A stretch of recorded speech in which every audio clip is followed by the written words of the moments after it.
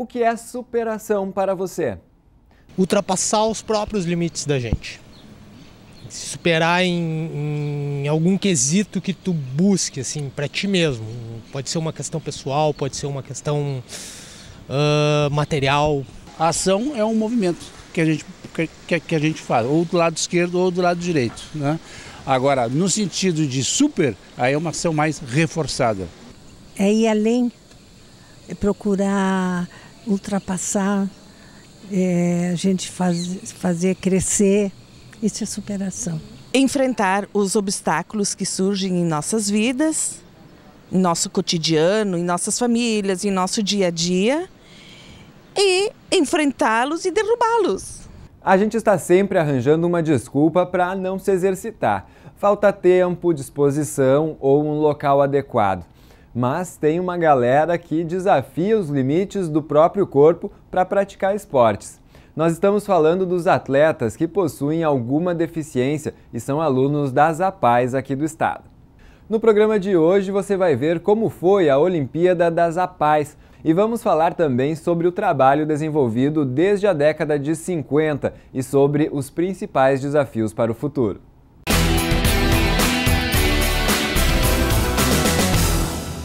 A Associação de Pais e Amigos dos Excepcionais surgiu no Rio de Janeiro em 1954 para promover a atenção integral à pessoa com deficiência intelectual e múltipla. Hoje, cerca de 250 mil pessoas são atendidas por 2.165 APAES em todo o país. O Rio Grande do Sul vai sediar em 2018 as Olimpíadas Especiais promovidas pela Federação Nacional das Entidades. A competição estadual, realizada no início de dezembro, revela a dimensão que esse evento terá.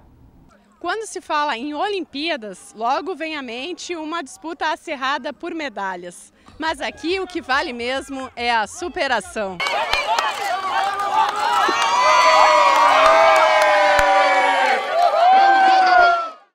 Cerca de 900 atletas, além de 300 professores e juízes.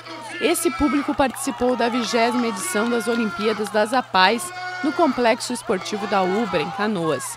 Realizada a cada três anos, a competição reúne as delegações que passaram pelas seletivas dos 22 conselhos regionais.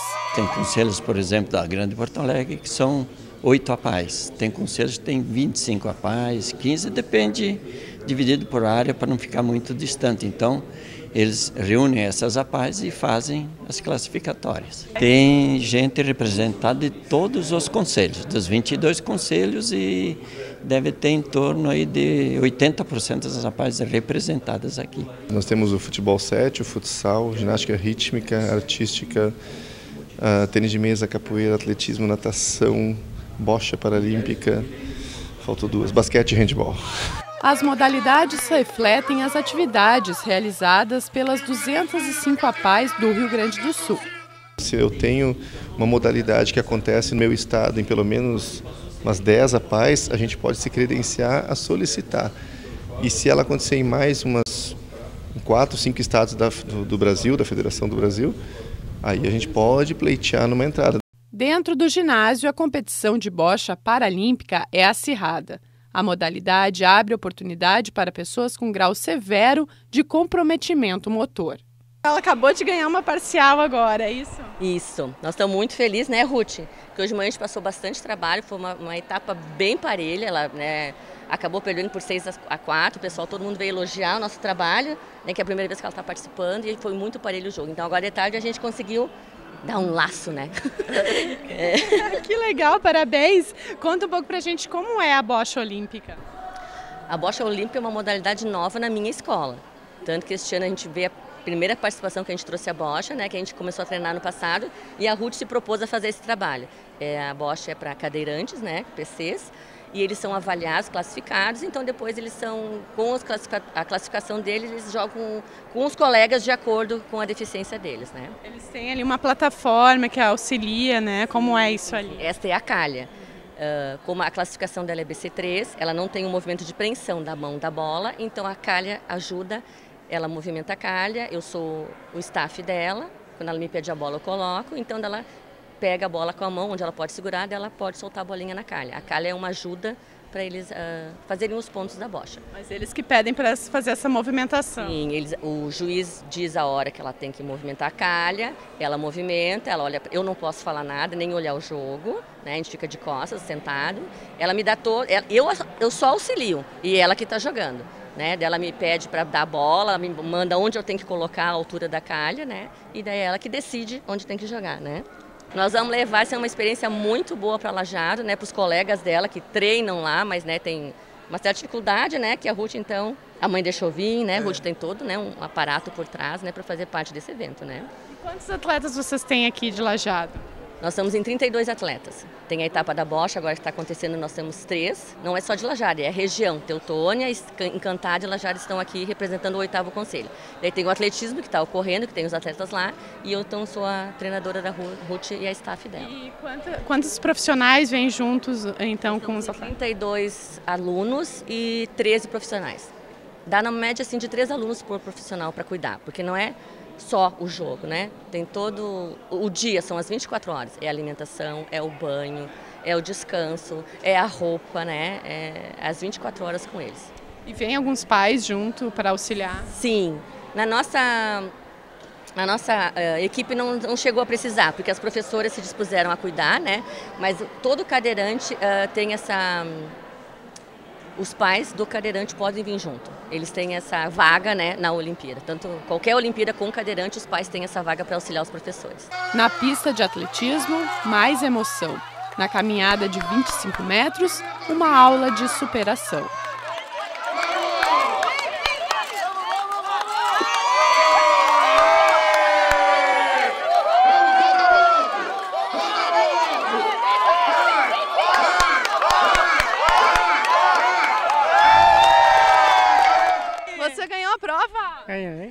Conseguiu?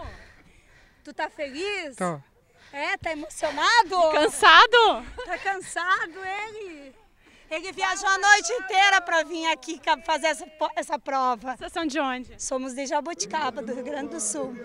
Participamos do segundo conselho do Frederico Westphalen. E como é para ti? Tu é treinadora? Eu sou professora dele.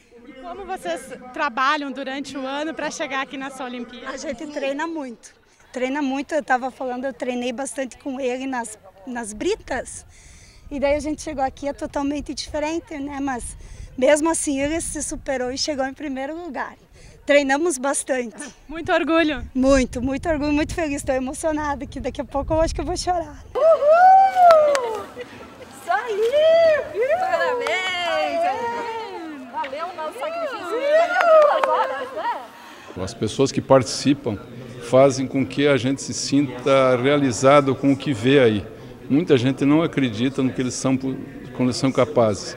E você vendo, você vê que eles também, apesar de diferentes em algumas coisas, eles nos proporcionam reações, a mim às vezes de choro, porque eu sinto isto comigo. E outras vezes de estupefação por aquilo que acontece. A gente não acredita e acaba vendo que é possível. Então, porque as, a, o que faz a, uma Olimpíada, o que faz um, um, uma participação num esporte é o crescimento daquela pessoa, seja ela pessoa atendida pelas APAES, pessoa especial ou não. Os alunos te, te abraçam, vem, a gente beija, brinca com eles o tempo todo, fala, se diverte, isso é fantástico. Eu sempre gostei de, de mais de futebol, mas como eu me saí melhor no atletismo, eu preferi o atletismo também, no caso. Mas jogou futebol há muito tempo? Joguei até. Ainda jogo, teoricamente, mas jogo na brincadeira hoje em dia, não levo muito a sério. Fez a primeira competição, ele tinha sete anos e ficou em segundo lugar. E daí em diante ele só foi crescendo, né? E a gente sempre incentivando ele, eu e o meu finado marido e os irmãos, né? Que era o, é o sonho dele ser um atleta, né? Então a gente faz o que pode por ele, né? Tudo que eu puder fazer por ele, eu vou fazer. Pretende ir para outras competições? Eu pretendo que Deus quiser estar em Tóquio na, na Paralimpíada. Está te preparando para isso? Tô, tô me preparando. E o que, que, é mais difícil na tua preparação? O que, que é mais difícil? É... Apoio financeiro. Não, não, praticamente não tem apoio de nada. Treinamento é, é complicado. Tem que treinar por conta, treinar certinho, tem que fazer tudo isso certinho, não adianta. É só força de vontade mesmo. Sim, tem que ir na força de vontade. E apoio da família. E apoio da família, principalmente. Talvez se não fosse o apoio da família em primeiro lugar, que eu digo, não adianta largar o filho com deficiência na, na pai e deixar que, ele, que, que, que a pai se vire, no caso. Tem que ter o apoio da família em primeiro lugar. Se não fosse a pai, o meu filho não caminharia e nem falaria, que o diagnóstico dos médicos era, não ia caminhar e nem falar. E eu botei ele na pai, ele era todo molinho, todo molinho. Olha as fotos dele quando ele entrou e olha agora, não é o Jucinei, porque ele foi a pai, né? Não tem. Em primeiro lugar é a pai, né? Eu agradeço muito o pessoal da pai, sabe? Porque o Gil é outra pessoa depois que foi para lá. Na hora do pódio, a felicidade extrapola. Receber a medalha pode até ser um ato simbólico, mas significa muito para quem já é vencedor só pelo fato de praticar um esporte. Muito emocionada de receber essa medalha? Tô. Foi difícil a prova? Não. Valeu a pena tudo? Parabéns, então. Obrigada. Então a gente coloca a competição até para pra, as pessoas se sentirem assim valorizadas. E mas a gente distribui inclusive uma medalha para todos. A gente diz assim, olha, essa medalha de participação é uma medalha que as pessoas recebem porque fazem parte de um contexto, fazem parte de uma entidade, fazem parte de uma associação que tem 60 anos, após mais de 60 anos, o movimento apoiano. E isto faz parte do contexto. E veio gente de todo o estado mesmo. Esse grupo do Noroeste Gaúcho viajou toda a noite para competir. O que, que é mais desafiador desse trabalho? O desafio é diário. Cada dia é uma, é uma nova aprendizagem. Eu costumo dizer, todas nós costumamos dizer que quem aprende mais somos nós, os professores. Eles nos ensinam muito, eles nos dão uma lição de vida que poucos sabem o que, que é trabalhar com um aluno com deficiência. Então, assim, ó, estar aqui para nós foi um desafio que começou no início do ano a preparação, a gente fazer eventos para arrecadar, para vir para cá, e eles a batalharem para conquistar a sonhada medalha. Cadê as medalhas? É, já ganhamos algumas. Já ganhamos né? algumas. E a torcida é sempre assim. E a torcida é sempre assim. Cada um com a, su, na, com a sua deficiência, dando o máximo de si e nós aprendendo com eles. Né? Que é possível superar os limites. Eram todos. Para eles não existem limites. Medalhas, então, vocês já ganharam? Então. Já. já, já ganhamos algumas medalhas individuais e vamos, vamos em diante, né?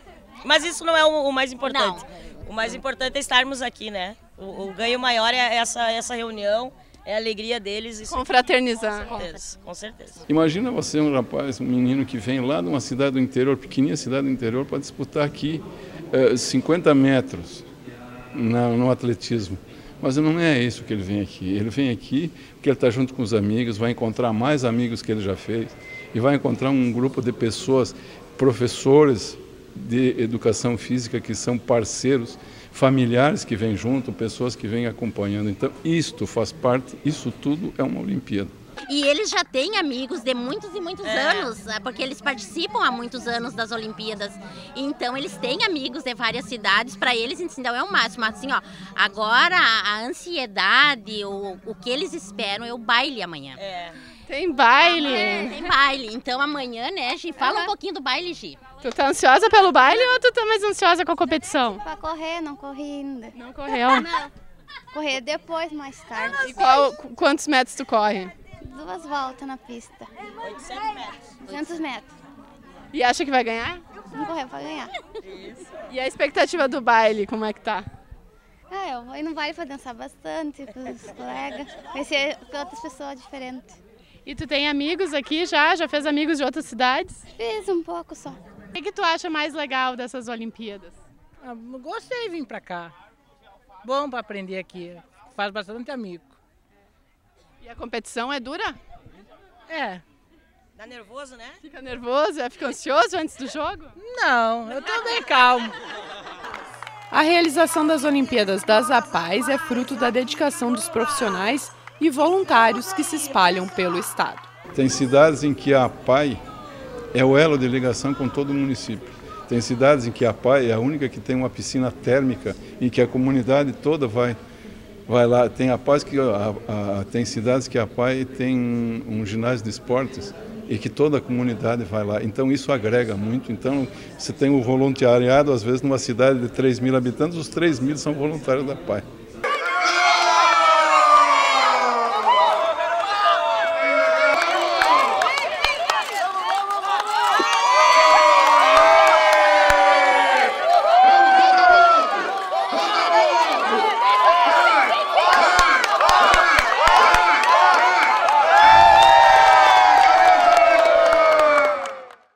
gente continua falando sobre o trabalho das APAES, porque agora eu recebo aqui no estúdio da TV Assembleia a professora Lúcia Centena, que é coordenadora pedagógica da Federação das APAES, para a gente saber um pouco mais sobre esse trabalho que é desenvolvido pela associação. É, muito obrigado, Lúcia, pela tua participação aqui no, no Faça a Diferença. Nós que agradecemos, em nome da Federação das APAES do Estado do Rio Grande do Sul, agradecemos mais essa oportunidade de mostrarmos um pouco do trabalho que são realizados pelas nossas 205 APAES no estado do Rio Grande do Sul.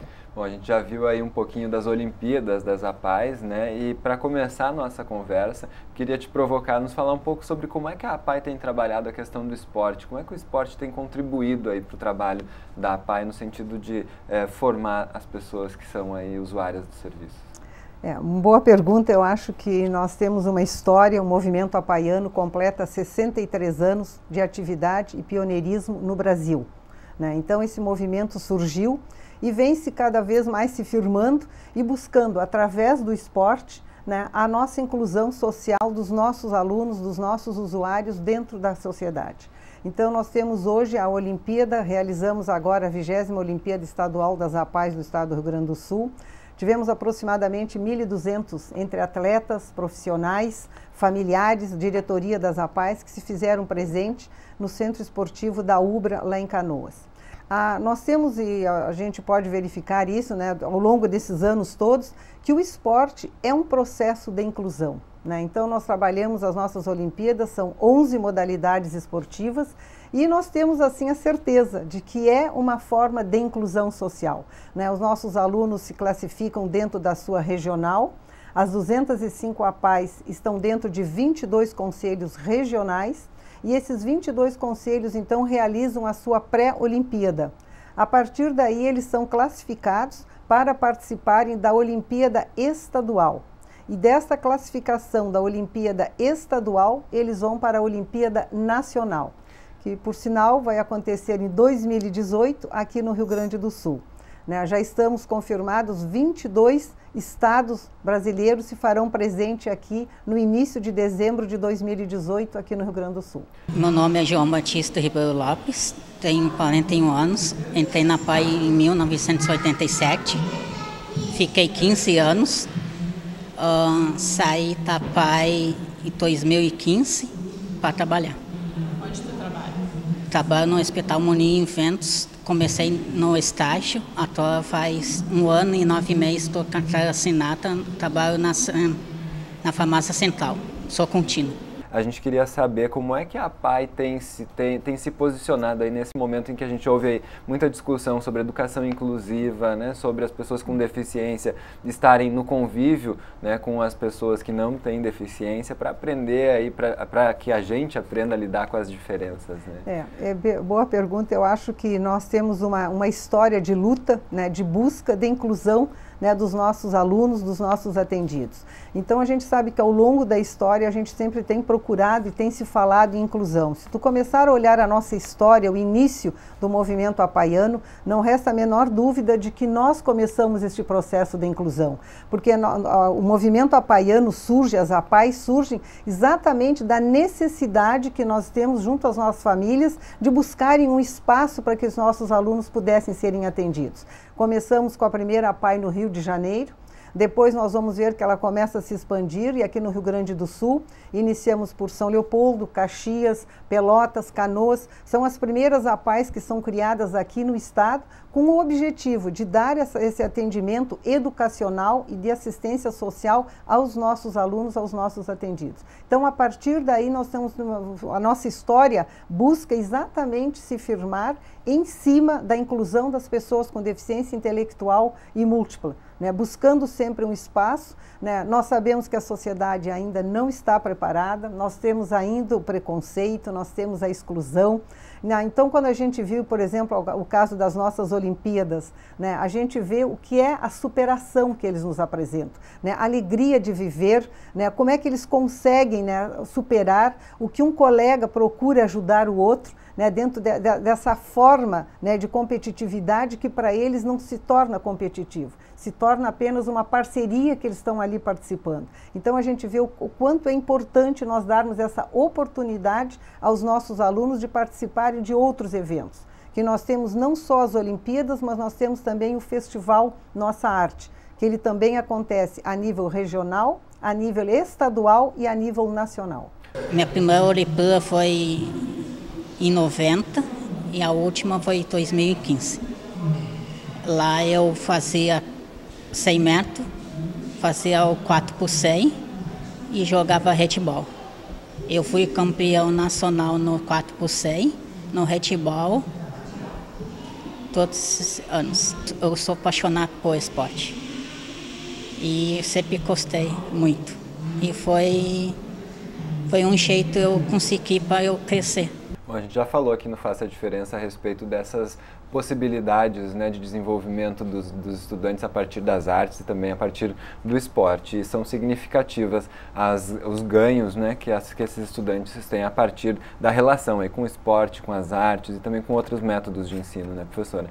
Sim, é, a gente busca, né, através da educação, e dentro da educação nós estamos vendo hoje que nós buscamos a inclusão. Né? Aquele aluno que está preparado e que a escola também está preparada para recebê-lo, nós encaminhamos para a inclusão. Né? O que nós não podemos é fazer uma, uma inclusão irresponsável, né? de que aquele aluno vá para a escola, a escola não está preparada, os profissionais não estão preparados, nós temos que ter toda uma acessibilidade e não é apenas uma acessibilidade só arquitetônica. Né? Nós buscamos a inclusão dele na escola em todos os segmentos dessa escola. Né? Ele tem que ser recebido pelos seus colegas, os seus colegas têm que estar preparados para aceitar esse diferente, de que forma ele vai ser trabalhado na escola. Nós temos que ter um currículo adaptado a este aluno né? e de que forma nós vamos trabalhar ele dentro da escola. Os né? desafios então, nesse sentido são muitos ainda. São muitos desafios ainda, a nossa sociedade não está preparada, a nossa escola não está preparada, nós sabemos as dificuldades hoje que a educação enfrenta, não só aqui no nosso estado, mas em termos de Brasil.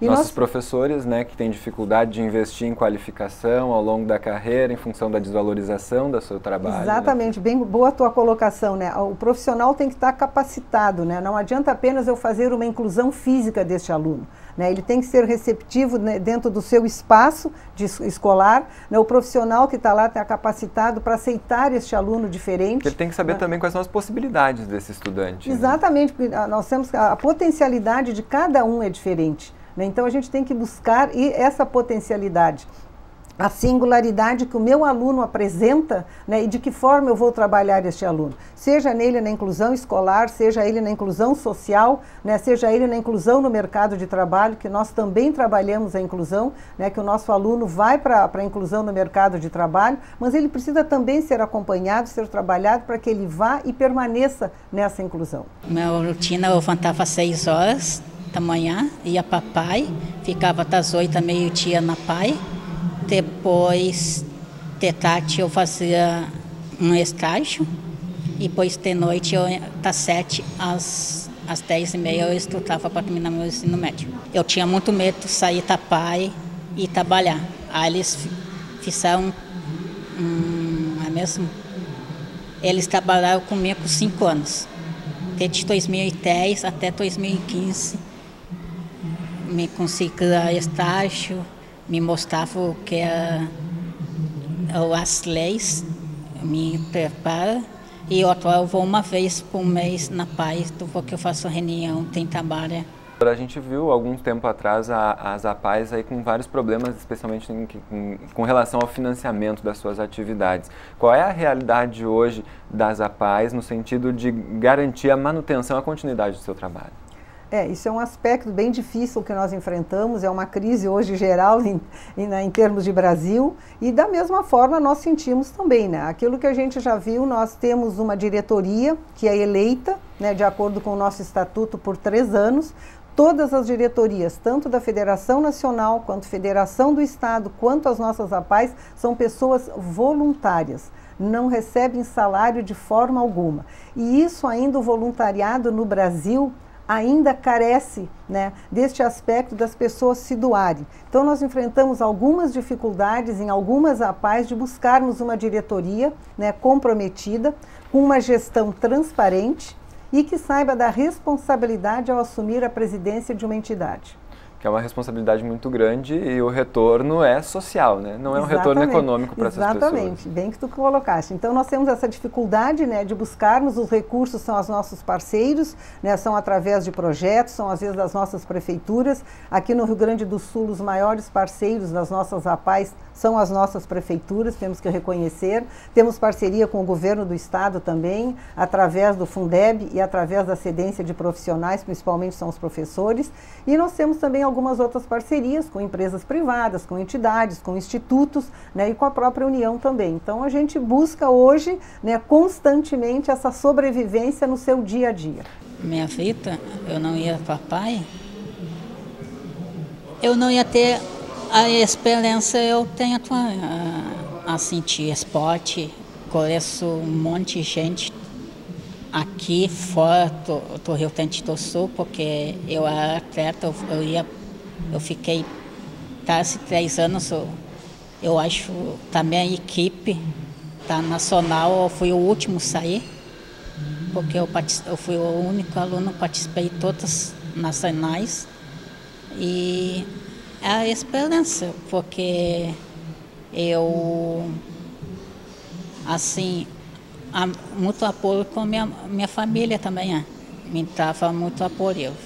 A de fazer isso, me mostrava. E a pai também. É um momento que exige muita criatividade de todo mundo que tem essa, esse engajamento, esse envolvimento social. Precisa criatividade para buscar recurso, precisa criatividade também é, para buscar novas soluções né, para a educação de pessoas com deficiência. É, realmente, né, nós temos assim nas nossas APAES, aqui no Rio Grande do Sul, das 205 APAES, 63 atendem o SUS, Sistema Único de Saúde. Então, buscaram, buscamos uma parceria junto ao SUS. Mas a criatividade no dia a dia da nossa gestão é o que mais caracteriza né, as nossas APAES. Porque cada APAE, de acordo com o seu contexto, com o seu município, com a sua localização, ela vai buscar as suas parcerias. E nós temos, assim, cada região com características próprias. As né? peculiaridades faz... de cada Exatamente, lugar. Exatamente, né? são as peculiaridades de cada região, de cada APAE, que busca, né, através do seu município, né, da sua cidade, a parceria para poder desenvolver né, esses atos de solidariedade, né, de compromisso social com o seu município. Um belo trabalho que as APAES vem realizando aí, então, há 63 anos, uma contribuição significativa com a nossa sociedade. Muito obrigado, viu, professora, pelo seu trabalho, pela sua participação, que nos, nos faça diferença. Nós que agradecemos este espaço, mais uma vez, nos colocamos à inteira disposição e que 2018 a gente consiga novamente nos encontrar aqui nesse estúdio para contar né, os bons momentos que nós vamos ter em 2018. E comemorar, né? Se Os Deus quiser. que a gente volte a falar de notícias boas e positivas. Vamos voltar então. Obrigada pelo espaço. Obrigado, professora.